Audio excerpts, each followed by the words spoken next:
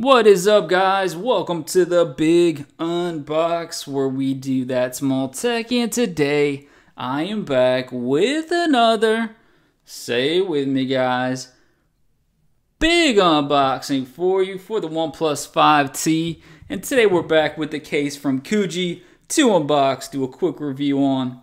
As always, I'll put up the link in the video description, so if you guys want to check it out, definitely feel free to do so.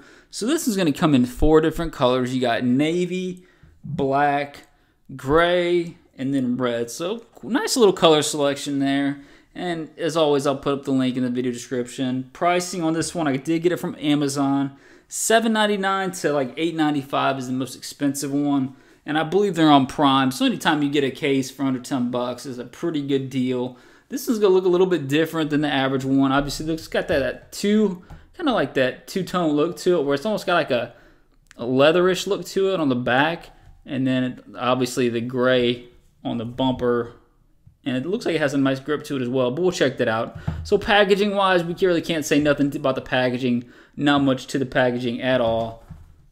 KuGi and then pretty much is there's really nothing to the packaging it does feel legit for under 10 bucks you can't really complain too much there is some packaging so we won't complain Let's go ahead and bust it out, guys, and see if it's worth the 10 bucks. Hopefully it is. You guys make the final decision if you guys think this is a hit or miss. Keep the suggestions coming, guys. We'll keep out the accessory reviews for the OnePlus 5T.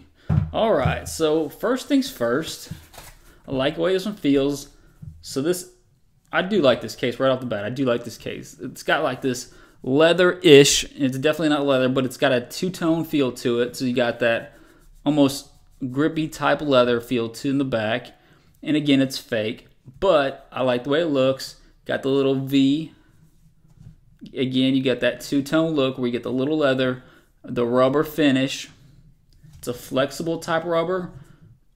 And then you got some some little side ridges that's going to give you some extra grip on the sides. See it like that. Anytime you get a little extra See those ridges right there? Just going to give you some extra grip on the side. So that's nice when you're pulling it out of your pocket. And it definitely feels like a premium case. It's got some give to it, but you would expect that just from the type of material it is. Inside, you got a nice web pattern that feels premium. The ultimate experience, a little bit of, you know, branding or whatever you want to call it on there. But it does feel premium. I do like the way this case looks, that two-tone look. Almost wish I would have went with the black to match the black phone, but we'll check out this gray silver color and see if it looks good. And we'll check it out to see if it's compatible with the official OnePlus 5 tempered glass screen protector, because that's how we do it. All right. Gently put it into place. All right, so the first things first, let me, let me give you guys a look at the back without me playing with it. Beautiful presentation. I like the way that looks, that two-tone look to it. Again, just adds a little something to it, something different that not every case has for that price point. So I do appreciate that. I wish I would have went with the black for sure, but no big deal. One thing I don't really care for, you can see the how deep that hole is for the fingerprint sensor. It's not quite as smooth transition to get your finger right in the fingerprint sensor. It's kind of deep. So I wish they would have rounded that off just a little bit more so it would have been a smoother transition. Not a big deal though. Camera protection, you're definitely getting some nice camera protection. You can see it's raised up. There's not going to be any issues with that. If you just put your phone down on the, you know, ground or anything like that, I don't think there'd be any issues with that scratching up or basically putting your phone down in general. You obviously don't want to drop it, but it does look like it has some nice camera protection. Has some nice grip to the phone. Again, like the ridges, adding some nice grip to it as well. Got that two-tone where it actually, it, this is kind of a slippery top rubber on the top, but this gives you some grip. And obviously with the sides, it's gonna give you some nice extra grip as well. Let's check out that lip protection. You're getting edge to edge lip protection.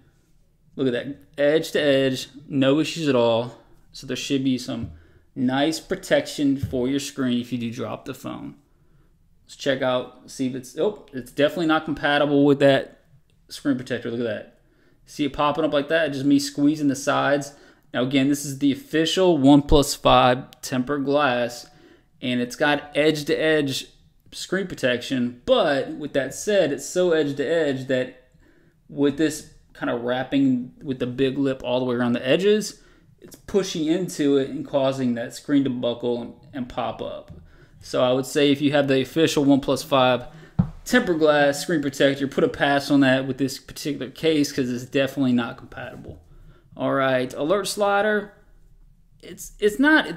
I wish. See, the thing is, the problem with this right here, the alert slider should be cut out just a little bit more, so you can because you have to actually dig to get your finger in there. So that's that's a problem.